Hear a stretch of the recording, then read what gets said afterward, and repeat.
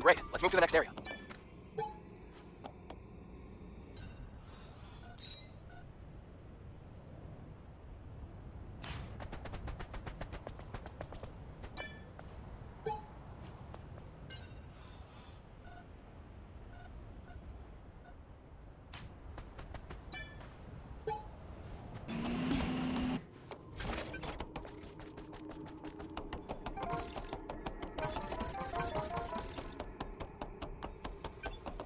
Like it opened a vent, not a gate.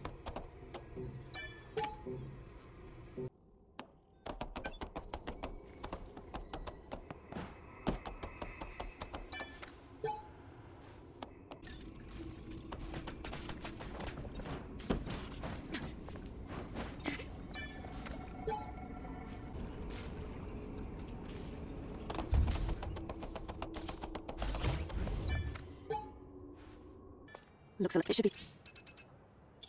Cradle? It's through the prison's chamber, right?